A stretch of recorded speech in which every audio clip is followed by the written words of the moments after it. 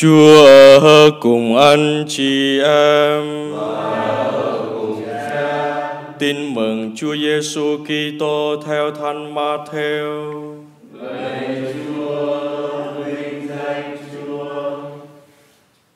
Khi các nhà chiêm tinh đã ra về, thì sứ thần Chúa hiện ra báo mộng cho ông Du Xe rằng: Này ông dậy đem hài nhi và mẹ người trốn sang Ai Cập và cứ ở đó cho đến khi tôi báo lại vì vua Herode sắp tìm giết hài nhi đấy. Ông Du Xe liền trỗi dậy và đang đêm đưa hài nhi và mẹ người trốn sang Ai Cập.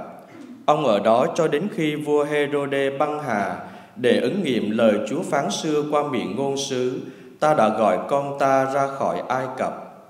Bấy giờ vua Herode thấy mình bị các nhà chiêm tinh đánh lừa thì đùng đùng nổi giận nên sai người đi giết tất cả các con trẻ ở Bethlehem và toàn vùng lân cận từ hai tuổi trở xuống, tính theo ngày tháng ông đã hỏi cặn kẽ các nhà chiêm tinh.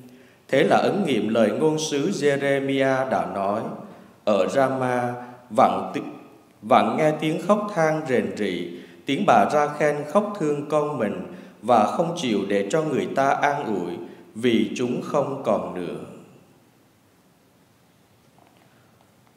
Đó là lời Chúa. Lời Chúa Kitô, lời khen Chúa.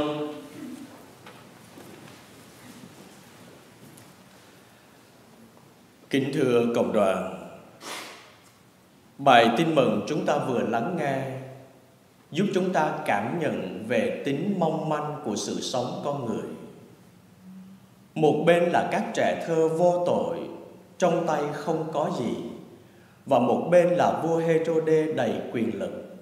Trong tay ông có tất cả mọi sự. Vậy mà ông vẫn tìm mọi cách để giết chết hài nhi Giêsu và các trẻ thơ vô tội. Sự tương phản đó cho chúng ta thấy rõ sự sống của con người mong manh đến giường nào. Và ngày hôm nay sự sống của con người cũng mong manh như vậy. Trước hết là sự sống của hàng triệu thai nhi vô tội đang bị đe dọa mỗi ngày và mỗi giờ.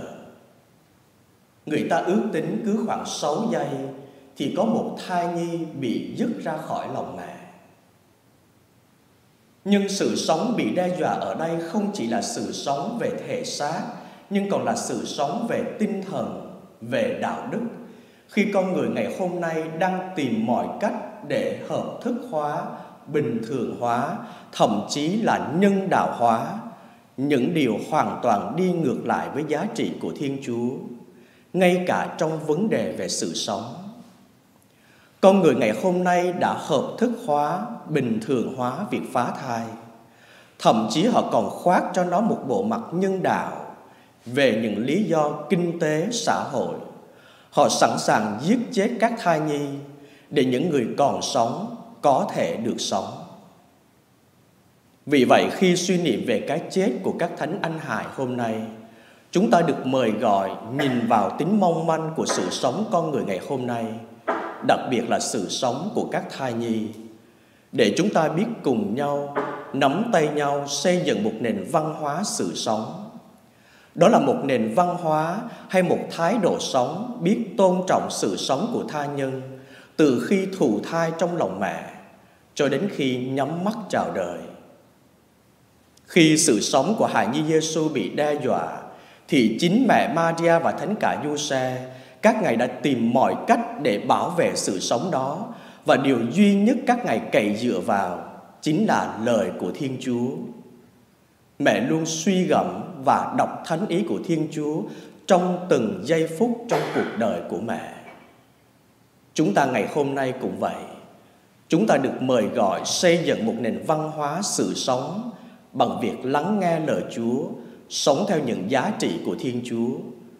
Dẫu cho xã hội ngày hôm nay có băng hoại đạo đức như thế nào, nhưng nếu người Kitô hữu chúng ta biết cùng nắm tay nhau, cùng nhau sống lời của Thiên Chúa, sống theo những giá trị của Thiên Chúa, thì chắc chắn nền văn hóa sự sống, nền văn hóa của Thiên Chúa sẽ mãi lan rộng và cấm rễ trong cuộc đời này.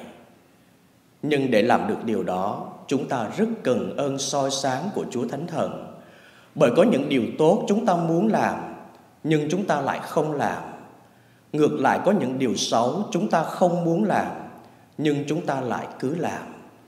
Vì vậy chúng ta rất cần ơn soi sáng của Chúa Thánh Thần để chúng ta biết can đảm sống theo những giá trị của Thiên Chúa, dẫu cho chúng ta phải đối diện với những thù hận, chống đối và loại trừ.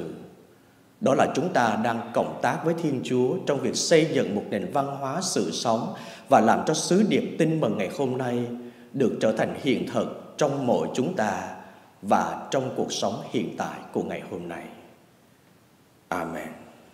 Chúa ở cùng anh chị em và ở cùng cha. Nguyện xin Thiên Chúa toàn năng là Cha và Con và Thánh Thần ban phúc lành cho tất cả anh chị em. Amen.